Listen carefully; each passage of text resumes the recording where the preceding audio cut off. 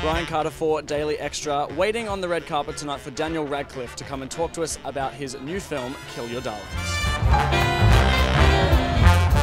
How was it working with uh, John to portray, you know, gay desire in an authentic way? Obviously, John being openly gay, it kind of, Yeah. I'm sure, would have added to the helped you. Uh, yeah, no, no. John, John, John was uh, very uh, forthcoming with lots of information.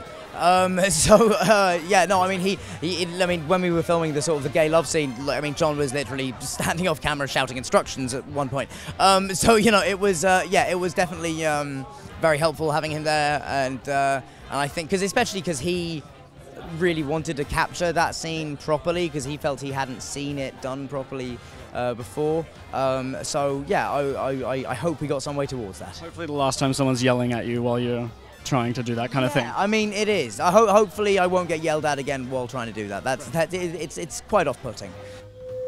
What we have, darlings and demoiselles, is a circle. Your character is Lucian Carr's ultimate victim. What do you think drew him to Lucian? I think when he first met Lucian, uh, Lucian was uh, fatherless, and he stepped in and became a surrogate of sorts and a mentor of sorts. And there was a time when his affection was uh, reciprocated in some way. But in this film, when it starts, uh, we are meeting a man who is no longer having that uh, feeling reciprocated and is as is desperate to to rekindle it. He's um, strung out on a drug that's no longer there for him, uh, lovesick, if you will, and um, it's it's. Um, it's a desperate place for a person to be. I think we can all relate to some form of that. Maybe not one this extreme, but it is uh, uh, fundamentally human. I think.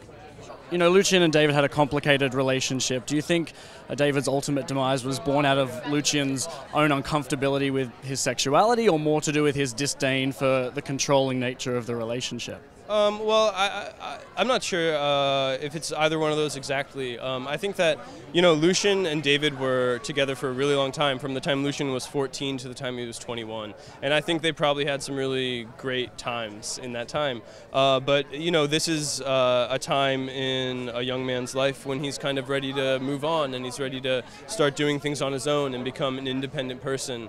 And he meets Alan, and Alan's a really amazing person uh, who I think he's he's really drawn to in a lot of ways. Um, and he's just he's just ready to let go of this relationship. And David is not. And um, David uh, won't take no for an answer. And um, unfortunately, uh, Lucian uh, makes sure he does.